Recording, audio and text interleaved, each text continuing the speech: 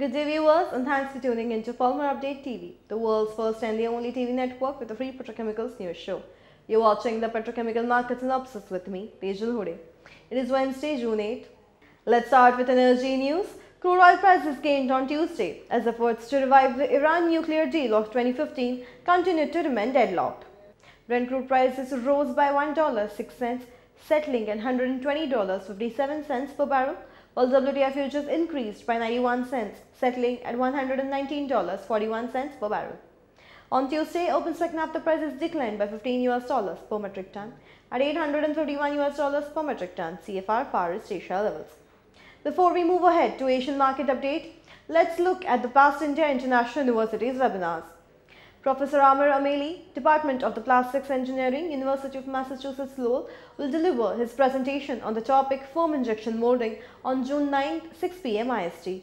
Registration details are mentioned in the description box. Moving on to the Asian market updates for PP, PE and PVC. In PP, this week PP prices assessed mixed in Asia. Prices declined in Far East Asia on the back of subdued demand trends amid ample product avails, while prices gained in parts of South Asia on the back of firm import offers from overseas suppliers. In PE, this week HDPE prices fell in South Asia on the back of sluggish demand trends and lower import offers from overseas producers.